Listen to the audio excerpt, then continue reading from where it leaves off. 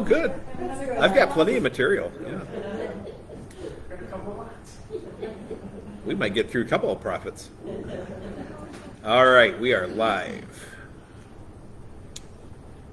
So I got, I got some more text. Yeah. I'm here, I'm here. Yeah, I got to turn my phone on because just in case there's anyone else out there. Although so far there's almost never anybody that texts except Sarah. Excuse me, I just texted you. Yeah, I said except Sarah. Yep, there you are. Here. Yep, gotcha. Here. Live. All right. Live in person, yeah. All right. Let's begin the prayer. Lord God, we give you thanks for gathering us around your word. We ask you, Lord, to open our hearts and our minds to hear you speak.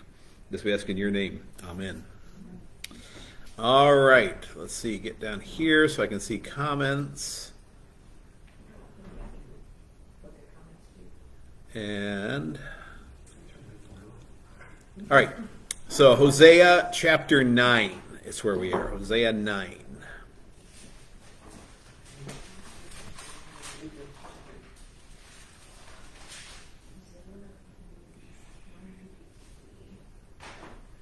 When someone finds it, give a page number. Yeah. Oh, because I have mine on the computer. Hosea 9. 1953. So chapter nine, Chapter 9. nine, five, nine. Okay. We got far last week. We did what? We got pretty far. I know. We're cooking. We're cooking now. We zipped through. Okay, Hosea 9. Rejoice not, O Israel. Exult not like the peoples, for you have played the whore, forsaking your God. You have loved a prostitute's wages on all the threshing floors. Threshing floor and wine vat shall not feed them, and new wine shall fail them. They shall they shall not remain in the land of the Lord, but Ephraim shall return to Egypt, and they shall eat unclean food in Assyria. Hey, Dave. Okay, so yeah, uh, God doesn't pull any punches. Uh, yeah, when he uh, when he Talking about horns. when he tells us, yeah, whoredom. That's my new favorite word. I'm gonna, I'm, I'm challenging everybody to find new ways to use the word whoredom.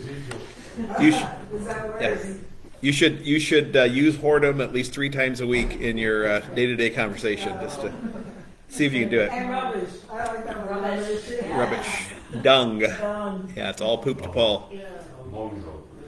Yeah. Da- da- uh, Darren uh, Taylor told me in all of his years in Lutheranism he'd never heard the word poop from the pulpit. I said, well, it's unfortunate because it's a really good word. no, Paul's the one who uses it, not me. He's the one. who says it's all poop. You know, just just I, so to talk about that from you know the the word uh, that that Paul uses, he he uses uh, it's dung, uh, although in our text it shows up as rubbish. Uh, it's all rubbish. Uh, that in the uh, in the ancient culture, um, they didn't have indoor plumbing, right? And so every family had night buckets that you went to the bathroom in uh, during the night, from you know probably evening on through the night, you know. Uh, and uh, what I, what I read one time, and I'm not sure how accurate this is historically, but uh, what I read one time was that it was typically the youngest person in the family's job, and I'm the youngest, so that was I was to carry the bucket. You know, and every morning you got up and you took the bucket, but somebody had to do it. You took the night bucket. Well, where did you dump the night bucket? Well, there's no sewers. You know, so you can't dump it down the drain, so you carry it outside the city, and they have a pile where you throw it. And I suppose after in the in the desert, it dries out and you can burn it eventually. You know, uh, so they probably move the pile around, and you know you burn the the the poop. You know, and so the word he uses there for rubbish is the same word as they use for that pile that's outside the city that has to dry and and be burned. You know, and so it's the same Greek word. Uh, and so I, that's why I love pointing that out to people. I t- point out to confirmation kids every year. Uh, is it's all poop to Paul, you know. So when you think that you know being a superstar athlete or being super rich or being super powerful uh, is is you know that's the goal of life. Um, listen, look at St. Paul. Here's this guy who had everything. I mean, when I say he's a sail maker, I didn't really explain that in the sermon Sunday, but that's a big deal in this in, in that era. in that time, being a, a, a consummate sailmaker, wow, you know that was important because you know you, you don't want to get out on the Mediterranean Sea and and have uh, shoddy sails, you know, because you're going to end up shipwrecked, you know. And so being a, a, a, a well-known and he could, and he made his living on making sails. So he made enough money off the sales he made. He never had to take any money from churches because he was so wealthy from his sail making. And then to go to the to the rabbinical school of Gamaliel, that's the Harvard of that era. You know, that's I mean to, to be Gamaliel's student was huge. You know that I mean, and, and I'm sure very disappointing to Gamaliel that St. Paul ends up being a Christian. Um, so anyway, when he says, "Look, you want to you want to compare credentials," here it is, and I don't care about any of it because all of it's just dung compared to knowing Christ, and it makes sense, right? Because if you get through this life and you're rich and powerful and and this life is it, and you die and you're done. And you go off and you know uh, Danya, uh, Danya's mom had uh, really good friends who were Jewish. And and Danya was invited to their uh, home uh, for Shabbat uh, you know the uh, the Friday night Sabbath meal and so she had the opportunity to she got to see it and it's it is very it's fascinating I've, I've gotten to see Shabbat several times over the years because I I always tell everybody, you know, the Jews put me through seminary uh, because I worked all over, I worked Jewish parties all over Clayton and Ladue, uh, and they'd hire the seminarians because we wouldn't steal the silver. You know, I mean, you walked in some of these homes, and you know, they were very wealthy homes and had very nice stuff. And a problem they had was you'd hire help, and some of your silver would walk off. You know, and so they liked to hire seminarians because we were trustworthy and generally hard workers, you know, by, by and large. And so, anyway, I got to see a lot of Jewish meals. Shabbat, I got to see Passover, I got to see a Rosh Hashanah celebration, I got to see a lot, led by a rabbi. But, um, but anyway, so Danya got to see this, and it's fascinating. It's really interesting. And the, the, the, I'm going to talk about this a little bit Wednesday night in the sermon. Uh, there, there's a word called Haggadah, and Haggadah is the telling, uh, it's the story. Uh, and for, for Jews, uh, something that we could learn from them as Christians is how important the story is. Uh, that, that we need to stay connected to our history. Uh, if we don't stay connected to our history, you know, what is the old line? Those who do not know history are doomed to repeat it, right? Uh, and so the Jews are super good in their religious observances of telling the story every time. Because there are new ears there you know? And the kids who were eight last year are nine this year and they may they don't remember. But by the time they're you know 18 19 20 years old they can almost recite the story. They've heard it so many times. It's why we have the same texts every year at christmas. Every year at easter. You know every year at good friday. Every year at Maundy Thursday we say it over and over and over again because you need to be able to know the story. If you don't know the story, then then nothing else makes sense. Okay. Uh, so anyway, uh, at Shabbat, so she had, she watched them do the, the, the whole thing, and she had the opportunity to talk to to uh, one of the people who participated, and and she says, well now she says, I don't know you know what flavor of Jew you are because you know, there's there's three distinct different groups, and she says, but she says, what do you believe uh, about uh, afterlife. He says, "Oh, I don't, I don't believe any of that stuff." He said, "We just do all this as you know, this is all tradition." He said, "I don't believe any of that stuff." And Diane says, "You mean you believe that when you get through with your life here, you're just done?" And he says, "Yeah." He says, "You just wink out of existence. You go." And then when he when she he told her that, a lot of things started making sense uh, about how they. Um, everything about this world is what was important to them. It was all about this world. Uh, when her mom died, they came over and they asked to be able to take something home from her home that they could remember her by because she was they were she was very close to them. Uh, to which we said, "It's all kind of old junk, but you know, feel free, you know, whatever you want, because most of it's going to Goodwill, if you know." And uh, but they were, I mean, they went through her possessions like they were treasures, you know, because it, it the things of this world are so important because when, once you die, that's it. You're done. Yeah. And they were all, and it's very sad.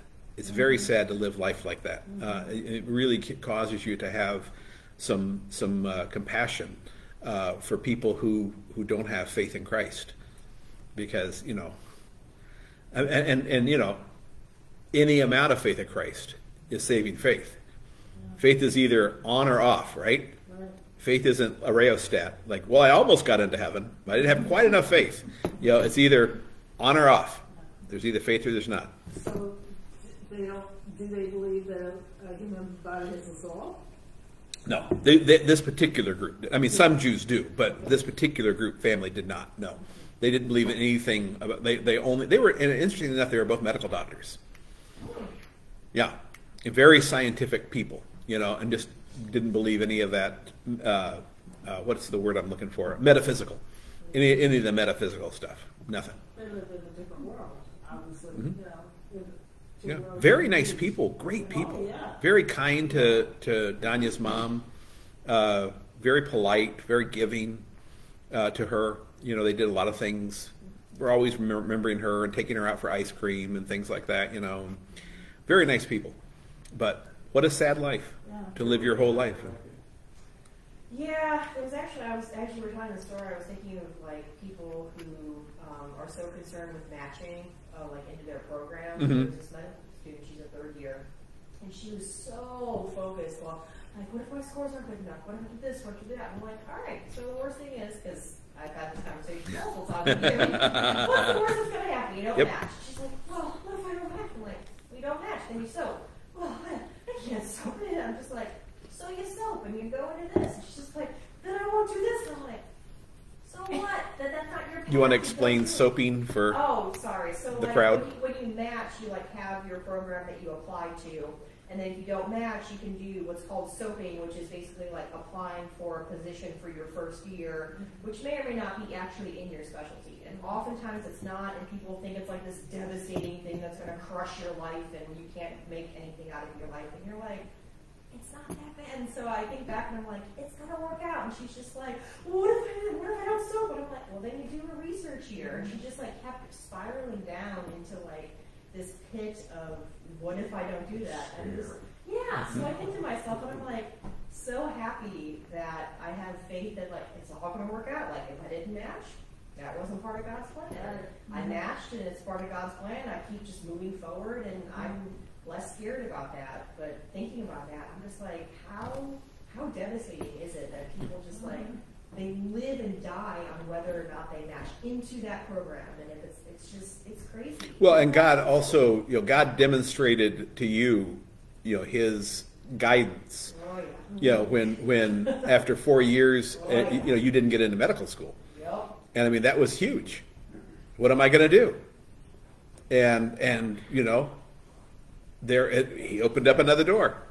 In Yeah, comes funny, the like looking back and like thinking, you know, what what would life have been like if I'd done medical school early, and then thinking about all the stuff that I'd gone through, then gone to medical school, now doing, and so I think like, man, if I hadn't done the way that he wanted it and been on the path, then it would have Yeah. been like so different and just, I don't know. If You think back and you're like, nah, all right. That makes it- That's the way it works, I guess. That's a fork in the road. Exactly. Yeah. Yeah. So he always puts you on a path. It's interesting Yeah. because you know there there are people who think who, who who believe that the educational system for a lot of professions has got it wrong. Yup. Um, that yup. that that and I, I speak to it from a theological perspective that there's a great many people who think that you should not go straight from um, college to seminary to the parish that you that you should have some years of experience between college and seminary uh, and also probably between seminary and the parish. And and there's some people who have who have proposed a system where you would have that. You would have uh, four years of college two years of some kind of you know other kind of work uh, four years of seminary two years of apprenticeship. And then you would actually become a pastor at like 31 or 32 or something like that as opposed to 26 uh, because it's really really hard being a 26 year old pastor It is really hard. Uh, and it's it causes so much stress and so much grief. Uh, so my point is is that god god created that system for you. Yeah. you had the four years of, of undergrad, five years of doing something else in the world, and then back to medicine, which was kind of your passion. Yeah, it's always kind of funny thinking of like the 26 year olds who are practicing or like in their in their time. Um, and I, I always think to myself like, why didn't they know how to do this, or why didn't they think about it like this, or why did they act that way? And I keep, I have to remind myself, oh yeah, I forget, I'm that much older. You're five years older. Yeah. they just don't have that. So And while you know, while there's not a significant difference between 40 and 45, there's a huge difference between 26 and 31. Gigantic. You know, there's a gulf. Uh, I, in fact, I would say that there, that's that's one of the huge developmental leaps in life, is is between uh, 25 and 30 in that area. Uh, yeah, I mean, the the biggest developmental leap a human being takes is between zero and three you know but then the other big ones there's another big one between eighth and ninth grade you know there's, is, Look at life through a different pair of glasses. right right there's a huge one between ninth and 10th grade Yes, You know. is. Very much so on that one. Yeah Yeah. i mean it would it, our educational system would be better to teach sixth and seventh graders together eighth graders alone ninth graders alone and then 10th through 12th graders together because there's such a developmental leap in those years that you know high school, my high school was tenth, eleventh, yeah twelfth. it's the way it used to always be Yeah. hmm junior high was usually six, seven eight nine. Yep, Or- junior- Or seven, eight, nine, one of those. Yeah, so junior high was either seven, eight, nine, or eight nine. Yeah. Yeah, Or K through eight. yeah, or you had a K through eight Yeah, I school. went to school, K through eight, so I had Right. no choice of. You know, if you talk about the uh, stress of a twenty-six-year-old pastor, but we live in America, think about the financial stress. Don't wait until you're thirty-one, you know? I mean, it's bad enough already, I mean, you know, it's expensive. You know, Yeah. You gotta think about that, you know? And you But don't you start still working to have pay a these job. bills back till you're thirty, your thirties, when do you get them paid back, you know? Eventually, I think about them like, eh, God brought me here. God, let That's out, exactly you know? right. That's exactly right. God brought you here. Got to work it out. Tchaikovsky, his mother went out and got a big degree, you know, uh, when she was almost sixty, you know? Yeah. And like, she's looking at bankruptcy, you know? Well, sure. Yeah, I mean, you, you have. I mean, and that's another. That's another problem. Is you know what I talked to, to Neil and Noah about. You know, because it would. You know, don't go to college these days unless you know what you want to do, because you're going to end up with eighty, ninety thousand dollars of debt, and no, and, and not want to do what you're trained to do, and you might not be trained to do anything. Yep. You know, so you get. I mean, you get a degree in art history. You know, try to get a job doing that. You know, if you got a rich dad, he can afford to write the checks. Fine, do what you want. But you know, if you're borrowing money, you better be get, doing something that's going to get you a job. Know, and that's and both Neil and Noah agreed with that and said, yeah, you know, Noah. I'm not sure Noah will ever go to school. Um, he's doing certification programs and things like that. But uh, you know, Neil wants to go to school now, but he's 29 years old, and and Uncle Sam pays for it. So that's the way to do it. So um, let's see what I was going to say about the text. Uh, oh, before I got whoredom, I got off on this on whoredom. See, uh, this is a really interesting thing here. Uh, chapter nine, Hosea nine. Hosea. Jose and I, Yeah, we're still in Hosea, Dave. Stop judging. I thought it was Joe. Uh, You know, these small prophets, they're all the. The the interesting thing is here, uh, your prostitute's wages on the threshing floor, threshing floor and wine vat shall not feed them. Uh, apparently, many of the ceremonies to Baal were done on threshing floors and wine vats. You know, that's so that's the the, the illusion there that God's giving uh, is that uh, you, you're doing all of these uh, ceremonies. Yeah, What's a threshing floor? where they thresh the grain, they take the grain into a, a room and they beat the grain on a rack. You keep using that word. I don't know what. Yeah, yeah, threshing the grain because yeah, because you're such a farm girl. You, I'm Oh, sure you yeah. remember when you went out on the farm and yeah, you have to thresh the grain to get the grain separated from the stalk, and then and then to get the the the kernel separated from the husk. That's how they and, and, and nowadays they have machines that do it. Back in these days, they had this wire rack, kind of, not wire, but I don't know, some kind of rack thing, and they beat the grain on it, uh, and you know, and then the they would gather up the kernels that fell out, and and you know that's how you would get your your your uh, kernel of wheat. So right, and so and so what he's saying there is when you're doing ceremonies to Baal on the threshing floor and the wine vat, because what are you praying for? When you're when you're doing ceremonies for the threshing floor and the wine vat, what are you praying to Baal for? Good crop, sure, yeah. Good good harvest, good wine, good wheat, good whatever. You're like a whore. Okay? You're like oh you you're, you know, he's pimping you. You know, and you're instead of worshiping God, you're worshiping this false lover. Okay? You're you're whoring yourself out to this false god. That's that's the whole the illusion of all of Hosea is always prostitution. That when you put something above God, you're prostituting yourself. Um, the, the, and and that's sometimes that's a difficult thing for human beings uh, because we like to we like to think in very black and white terms. Uh, that if we're not on the street collecting money for sex, we're not prostituting ourselves. Okay, not according to God. According to God, every time you put something or someone above Him, you're prostituting yourself. You're selling your you're selling what is most important, your soul. You know, the most important thing you possess is your soul. And you're selling that for something else. And by selling it, I mean you're you're giving it away to get something. That's selling, right? Uh, Bishop uh, said that years and years ago, and I always thought that was the, one of the best things he ever said. Is the only thing you ever got in this world is time. That was the only gift you ever got. What you do with that time is, is what matters. God gave you time. Maybe He gave you, like Levere 11, 100 years almost. Maybe He gave you 10 years. Maybe whatever He gave you, He gave you. But what you do with that time, you're going to sell some of that time because you need to eat and have a place to live and a car to drive. Uh, you're going to give away some of that time. You're going to enjoy some of that time for yourself. But but recognize that time is the commodity that you possess. That's really all you possess. Nothing else is yours. Um, so is this, you know, you got the whores threshing and, and stomping grapes in the wine vat, the threshing floor uh, here in Hosea. Is it any different from people today who call themselves Christian, but instead of doing things for God or with God or whatever, uh, they choose other things above God? Uh, you know, I used to have a, uh, I used to have a member in another church who flat out told me that he, I'd never see him on Sunday during uh, football season. Just flat out said it. Yeah, oh, no, I, I watch football on Sundays. Really? When do you worship? Well, I don't worship during football season. Well, this was on the West Coast.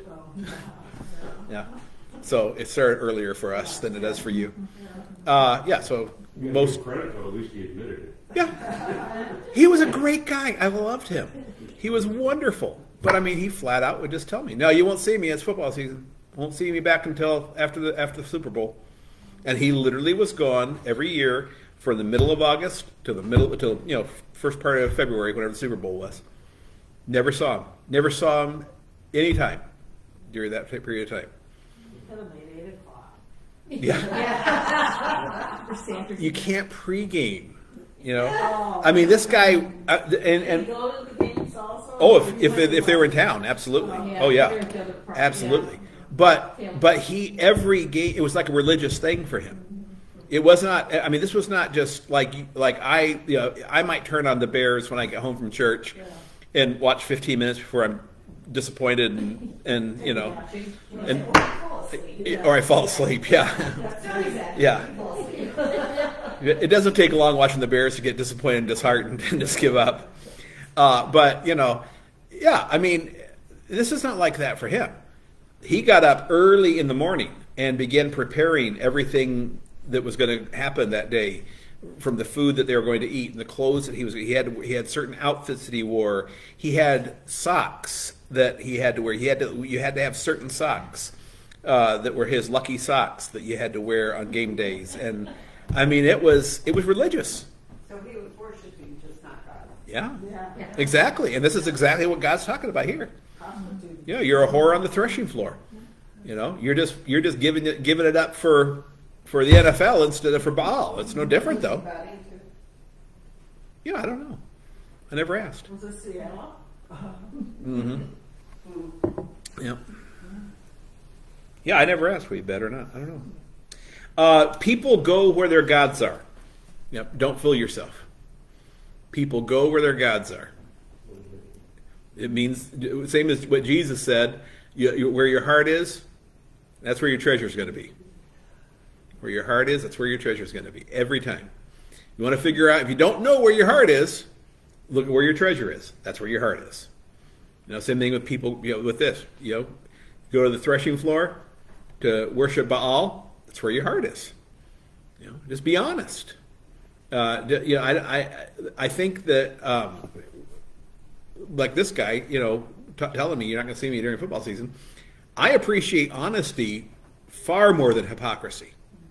Hypocrisy drives me nuts. You know, the the the, the uh, oh, I'm a I, I'm a fine, upstanding Christian, except when it's inconvenient. You know, then then I'm not a then I'll do what I want, and I uh, and I'll make up some you know story about how I had to do it, whatever it was. You know, doesn't matter. Just be honest. Be honest. You know, don't don't try to lie to God because He knows what you're doing and what you're thinking. Um, verse four: They shall not pour drink offerings of wine to the Lord, and their sacrifices shall not please Him. It shall be like mourners' bread to them. All who eat of it will be defiled, for their bread shall be for the hunger only. It shall not come to the house of the Lord. Uh, what will you do on the day of the appointed festival, and on the day of the feast of the Lord? For behold, they are going away from destruction, but Egypt shall gather them. Memphis shall bury them. Nettles shall possess their precious things of silver. Thorns shall be their tents.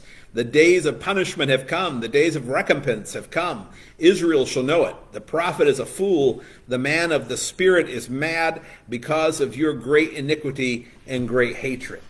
So lots of stuff in there. Um, in exile, not only will they be cut off from God, but they have no temple. Okay? So no means by which to approach God. Pouring their drink offering out to God. Yeah, you can't you can't make sacrifices when you got no temple because the temple is going to be destroyed. Okay, uh, Tiglath-Pileser is going to sack the temple too. Uh, not Tiglath-Pileser, um, Nebuchadnezzar is going to sack the temple. Uh, your offerings will not be accepted, and you cannot run away. Not do you any good. There is no other God. Uh, you can't go to Egypt. That's what they're you know they're trying to make allegiances with Egypt to get away from God. Uh, Egypt will bury you. Memphis will bury you. Nettles shall possess possess your precious things of silver. Thorns shall be their tents. Um, you know what nettles are, right? Nope. Oh, oh, those there. Oh, nettles are terrible. The, the, you, I don't know. Do we not have nettles here? Maybe we don't. No, I always think of them like the little things that get caught up in the dogs. Uh-uh. No, nettles are stinging plants. Uh, we have them. We have them in.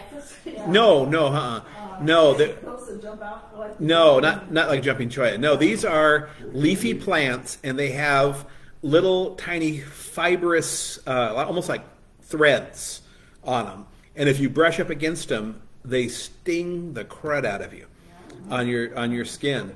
Yeah. Oh, yeah. I don't think we have them maybe up here. I don't know. Maybe down in. And I know we have them. We have them in uh, Kentucky. I know. Yeah. Yeah. Because. Uh, yeah, because when I took kids on retreat in Kentucky, almost every year someone got into nettles. Yeah, yeah, and I'm pretty sure we had them in Seattle too. Uh, yeah, they're stinging plants. They sting like. Are they, are they a green plant? Yeah, yeah, yeah. They're, they're green and they, uh, they, yeah, they, they grow so high, something like that. They're not vines, no. They're they're leafy plants, but they, it's really easy to n- not notice them and brush by them, and when when you do, you'll notice them because because they have a it leaves almost like a burn where they We, we have these plants that get those little, uh, like balls. Yeah. Yeah. I mean, they, would hurt if you crushed tried to uh, Right. Yeah, they get in your fur. They get in the dog's fur all the time. Yeah. The dog's fur though thing. Mm-hmm. Yeah, burrs, yeah. Yeah. No, the stingy nettles. No, they just they just burn. It's pretty. Yeah. Yeah. I, I think I. Is this what you're talking about? Yep, that's it. Yeah, I've seen it. Yep. Pretty. I somehow successfully avoided them. The roots and the above ground parts are used for diabetes. there you go. I know, so I- The root and the above ground parts are used for di- treatment of diabetes, apparently. The it. same, the stinging nettle plate is approximately two to four meters tall. huh. Really? Yeah, They get that big? I've never seen them that big. four to six feet tall. Yeah, I've never seen them. Wow, that's pretty cool. It's found in every province, province and state except Hawaii. Oh, it is found here. I guess it maybe just not. I don't see. I've never never experienced it here. But But maybe like Southern Illinois. Yeah. Yeah, maybe. Check out, Illinois- check out Illinois and see which way because that's very important. We need to track down the nettles here. Yeah. okay. Uh, so the point is, is there no other God? Um, the the uh, when he says the prophet is a fool, the man of the spirit is mad. Uh, what he's saying there is you can't make God say what you want him to say. Okay, you can't make God say what you want him to say. And there's there's so many religions and more specifically denominations today that uh, that, that that want God to they want God to be this way or they want God to be that way, and and they just make up stuff. You know, you just where do you get that? Well, I just think I just I just think this, or or no, I feel. There you go. I just feel that God blah blah blah blah. Okay, where does it say that in the Word? Where does it say that? Show me where it says that in the Word. Well, I don't know. I don't. It doesn't say it in the Word. I just feel that. It's rational. Well, good for you. I'm glad you have that feeling. Gloria said last night that one of her friends told her, she's Catholic, that the Bible needs, is going to get rewritten now because society is changing so much. Oh yeah. Okay. Well. Oh, Who's he? Yeah. Yeah. Who's he? A special commission. Yeah, special commission, yeah. Yeah, you know, I mean, you just that's the problem is that is that we we want God, we want, and, and this is nothing not new with us. No. Every generation has wanted God to say this or that. You know, I mean, every every culture has wanted God to say this or that. You know, it's whatever whatever it blows your skirt, cranks your tractor. You know, get try to get God to say it. You know, and then I can do it. I mean, it's nothing new. This is exactly what he's saying. The prophet is a fool. The man of the spirit is mad because of your great iniquity and, and your great hatred. Um, I am fully confident that when I am speaking God's word, I'm right. And that really ticks people off. Okay? Because I have no shame in saying, no, I know I'm right. Because I'm speaking God's word. I have no confidence in my words. I have no confidence in my ideas. They might be right, they might not. It might be a good idea, it might be a bad idea. It Might work, it might not. I don't know. But when I'm speaking God's word, completely confident that I'm right. Uh, Self confidence uh, in yourself is called arrogance. Okay? Self confidence in yourself is called arrogance. Self confidence in God is godly. If you're if you're saying and that's why in worship, it's important that we're saying what God has said. That's why I have no confidence in you know these people who write think they're poets, you know, and write weird stuff, you know, and say, "Oh, we're going to worship by do by saying this." Okay, what? Who are you? I know who Paul is. I don't know who you are. You know, and, and, I'm glad you think you're a poet, but you know, I want to say what God says, which is you look at our worship, go through the hymnal, try to find in the hymnal things that aren't almost direct quotes, if not direct quotes from Scripture. You got the Apostles' Creed, the Nicene Creed, and the Athanasian Creed, not quoted in Scripture. We, we, we, those are uh, those are systematic statements of the faith. In other words, they are things we draw from the from the Bible, okay? but they are not quoted in Scripture. Practically everything else. Oh, the sermon obviously is an explication of Scripture, but the sermon should not say anything that Scripture doesn't say. And I've always anybody anytime anyone complains about my sermon uh, to me, I've always told them, show me where I'm wrong from Scripture, and I'll publicly apologize. You know, because yeah, could I get it wrong? Yeah, it's possible I could get it wrong. After 30 years of doing it, it's not going to be often. But yeah, it could happen. I could overstate something or, or, or state something uh, in a way that, that comes off wrong from Scripture. Sure, it could. Yeah, show me where I'm wrong. I'll apologize. Yeah.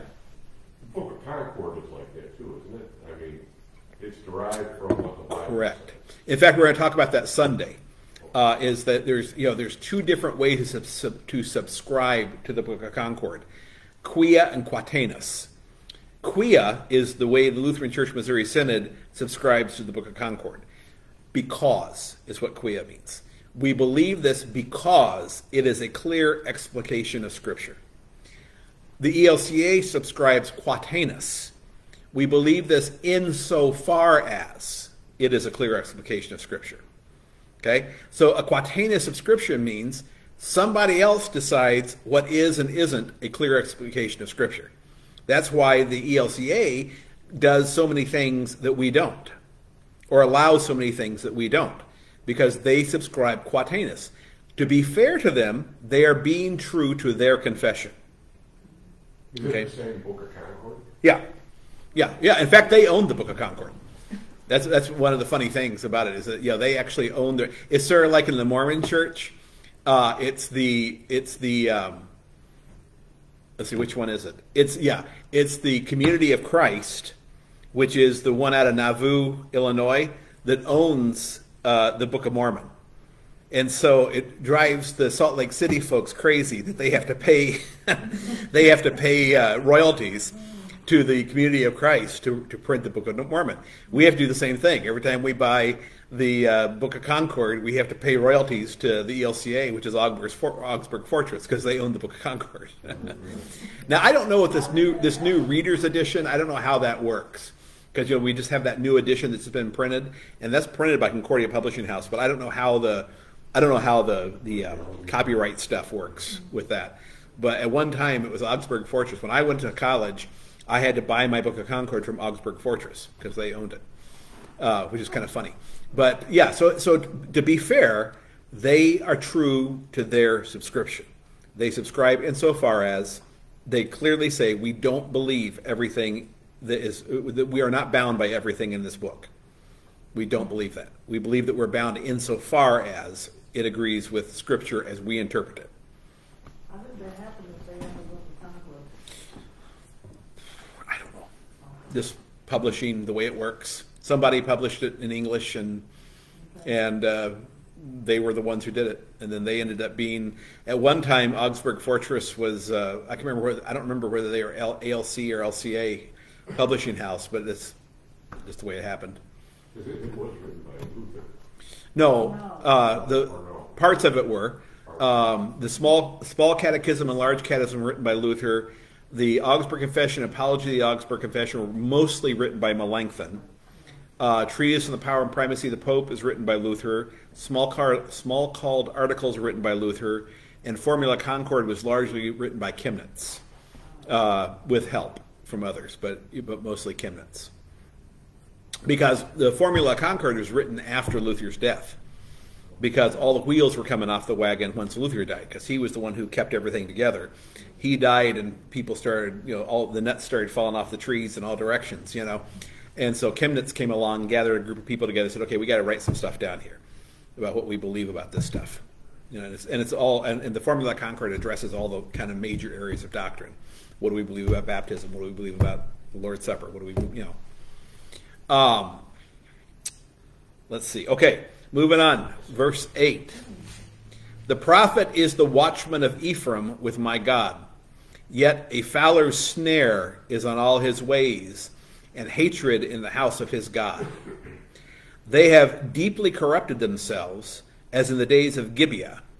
He will remember their iniquity, he will punish their sins.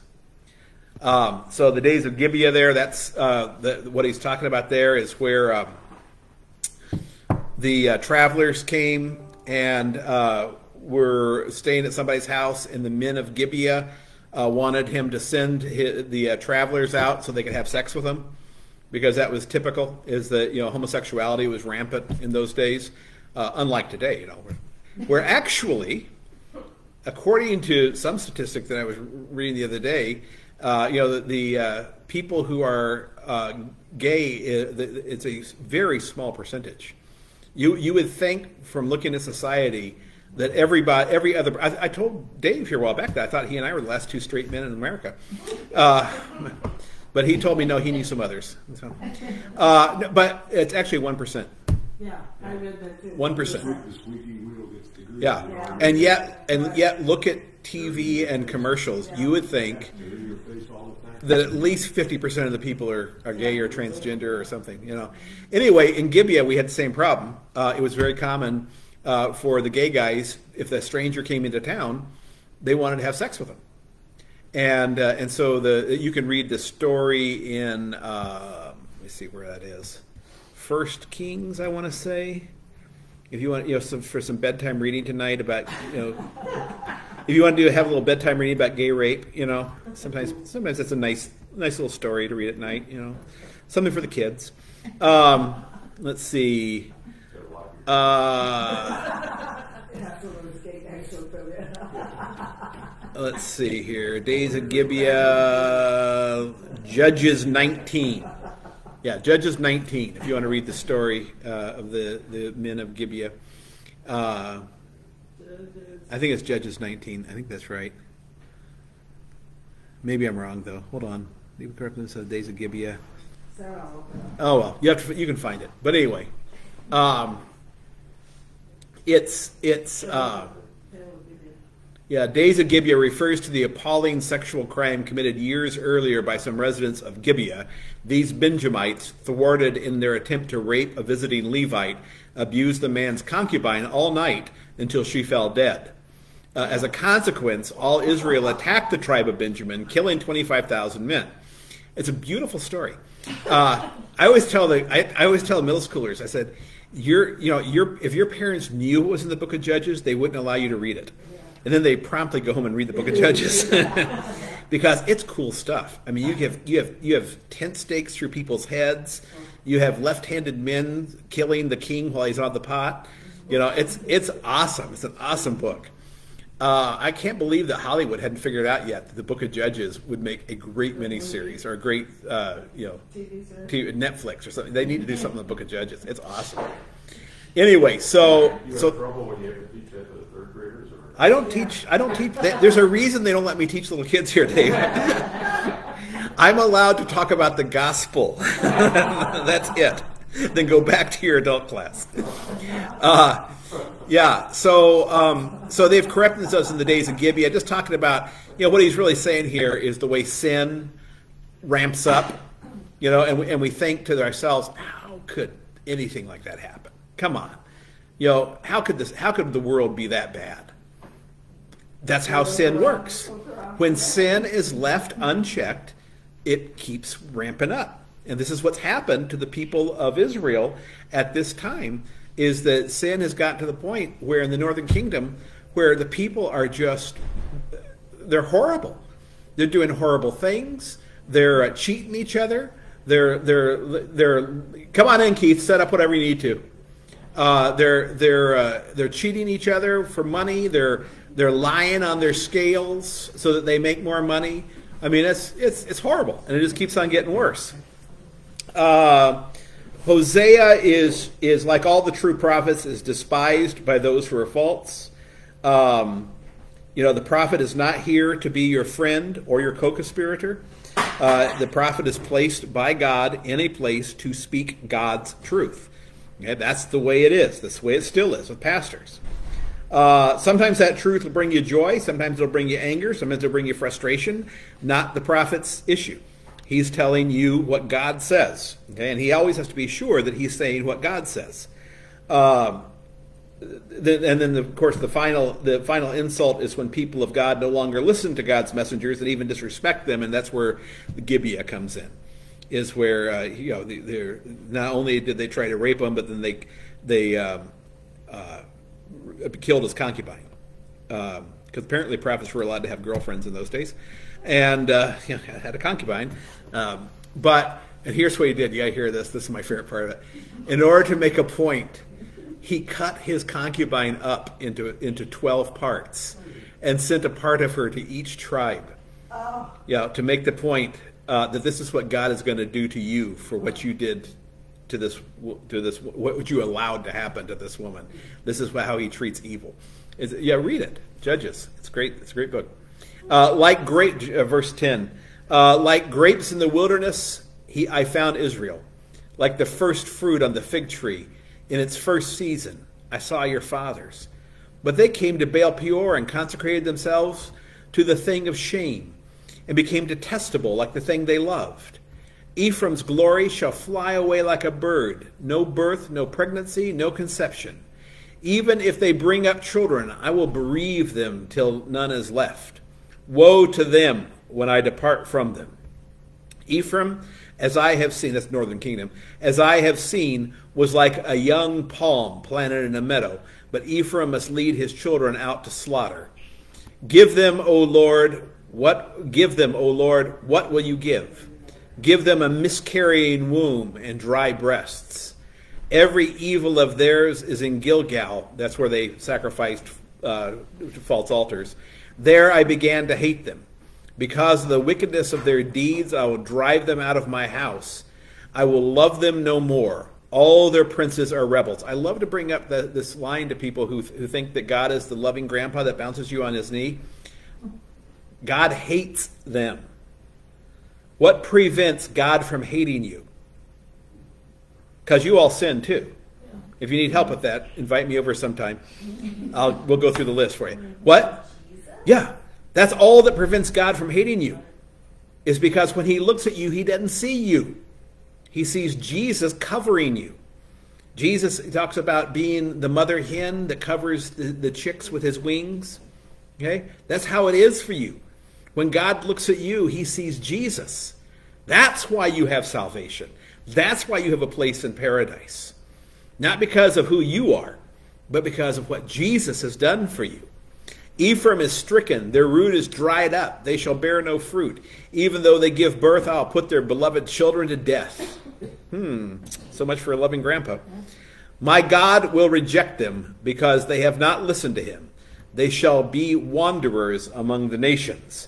Uh, the, the bottom line in chapter 9 is God has had enough of the whoredom. Okay, he's had enough. And, and it's all going to come to an end uh, for Israel. We're going to stop early tonight because Keith needs to get set up for Dorcas.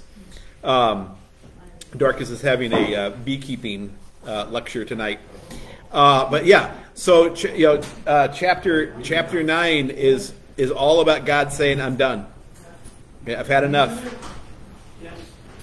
All right. Any questions, comments, deep thoughts? I should go to the comments here. Oh, Danya's been talking and I didn't catch it. Sorry.